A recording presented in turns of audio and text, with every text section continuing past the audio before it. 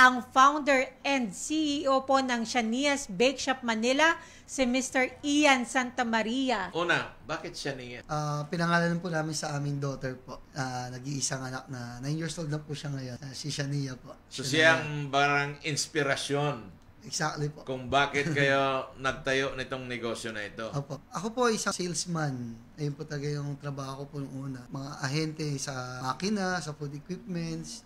Si Mrs. naman that time, full-time po siya ano, as housewife. Eh nagkataon na bagong panganak din, naiinip din po sa bahay, naghanap din ano, ng extra income. Sa paglibangan. Opo, nag-start siya na mag-bake po ng ano, ng Oh, mga wow. produkto Okay. sa bahay po namin. Siya yung marunong mag-bake Siya at siya po. yung nag-try. Ano yung pinakauna niyang tinry na gawain? Ah, sa Atimonan Quezon po kasi yung mga food delicacies po doon, more on sweet nga po. Ito yung mga chiffon cake, mga puto, at the same time yung mga custard, yung may leche plan po Yung sa mga ibabaw. kakanin. Kakanin po, yes po. Ano yung una niyang niluto, bale? Ang first ano po, ah, product po namin noong 2014, ay yung po yung tinatawag namin puto de leche. Puto which is de a leche. combination ng ano po, puto cake na sa leche plan po yung nasa ibabaw. Talagang uh, imaginative ang Pilipino. Ano? Bi- Biri, biruin mo yung puto, lalagyan mo ng leche plan.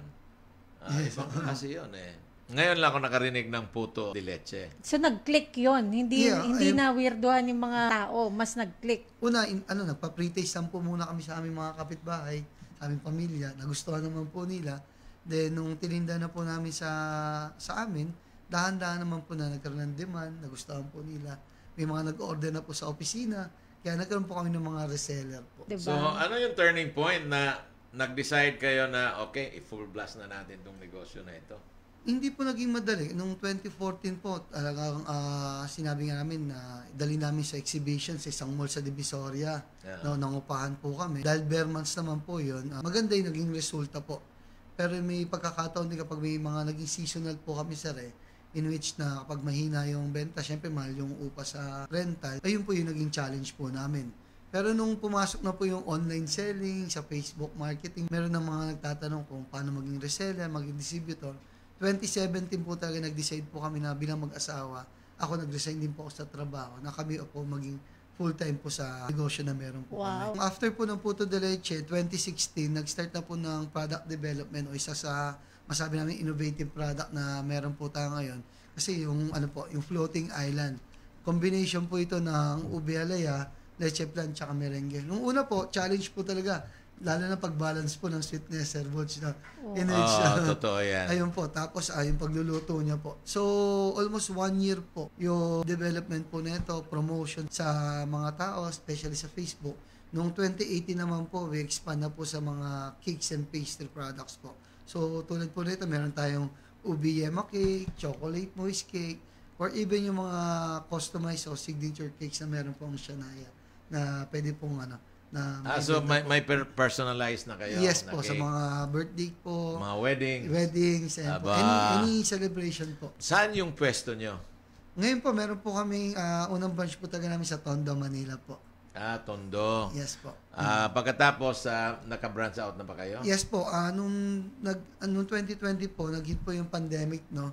Ah, we need to close po yung dalawa naming store po dito sa Manila. Umuwi po kami ng Atimonan, Quezon. So ngayon po, nakapagbukas din po kami doon ng, ng first store namin outside Metro Manila po.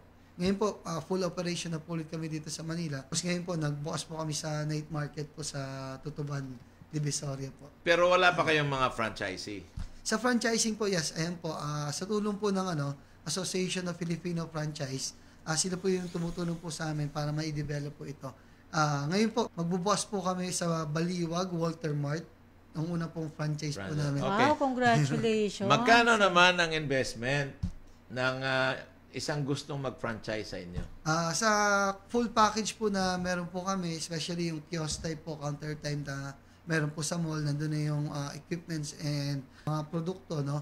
Ang ang pa, ang package po na yung offer po nag-start po sa 280,000 po. Ba, 280,000?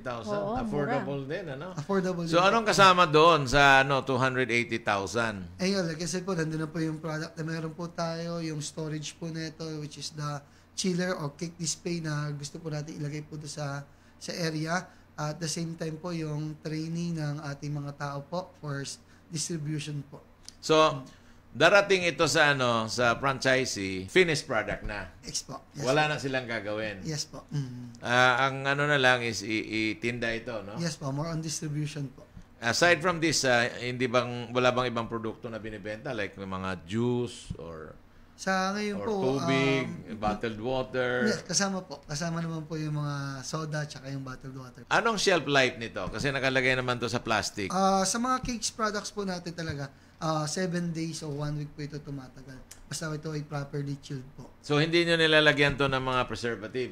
Actually po, ah, 100% po all is natural. Wala po tayong preservative po na inilagay. I was thinking of this product na ah, pwede mo ring i-export ito Oo. because like ubi is becoming a very popular product. Talagang nagiging popular ang ubi. Ubi ice cream, ubi cake, ubi halaya. Pag natikman ito ng mga banyaga, wag lang masyadong matamis. So yun mga next in line mo, yung makapag-export kayo. Yan nga yung may ah, ube, may leche flan, at, at may merengue sa ibabaw. Wow, it looks like um, Brazo de Mercedes. Yes po. Ayan po yung nasa top nyo po. Sorry, uh, it's Okay uh, lang. right beside me. Uh, then, naglalaway tuloy ako. Diyan po, ano, 100% po, pure ube po. Even coloring, wala po kami nilagay. Sir. So, ah, ang combination nito, ube, Yung leche plan po yung second layer, tapos yung braso Mercedes o merengue. merengue, ah, braso, braso de Mercedes. Ah, Sige na. ah, magkano ang presyo nito? Ayun po, uh, we sell it 150 pesos in the market. Then, sa, ang tanong po ni Ma'am kanina, we give 20% sa ating mga discount, no? Sa aming Reseller. mga reseller o distributor po. 20 to 30% discount po. Kaya kayong nakikinig dyan, Shania Bake Shop, Manila. Oh. Tama lang, hindi masyadong matamis. Pero wow, masarap. Ah, masarap. Oo. So it's a combination of Brazo de Mercedes, Halaya, Leche Plan. You get confused.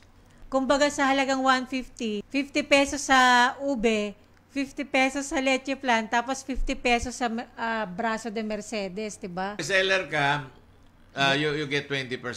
Pero pag ah, franchise holder ka, magkano naman ang um, markup ng franchise holder? Dito po, nabibigay po namin sa at least 30 to 40% po. Ayun Isang naman volume. dapat talaga. Opo. Para fair sa franchisee. Yes. Mm.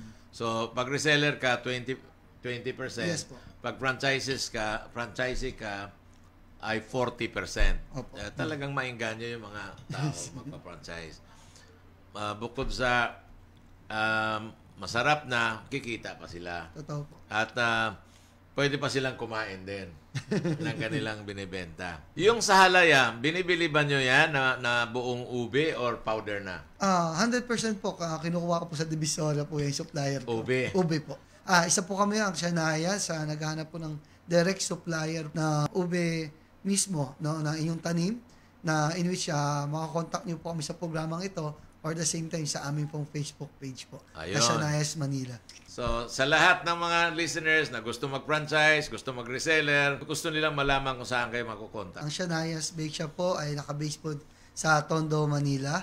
Kami po ay nag-open ng aming programa sa mga distributors or mga reseller na maaaring kumita po ng 20 to 30% sa aming mga produkto, no? Ang kagandahan po dito, nag meron kaming startup package na worth 500 pesos lang para mag-resell po ng produkto namin, no? Kasi wala po siyang ano eh, hindi na po ako naglagay ng minimum order sa panahon Okay. po ng Kapaskuhan. Para po Very kasi good, very mas po good. sa amin nang lumalapit po yung mga small business na gusto talaga magkaroon ng additional income. Eh yung iba po, yung wala pong ganong kalaking puhunan.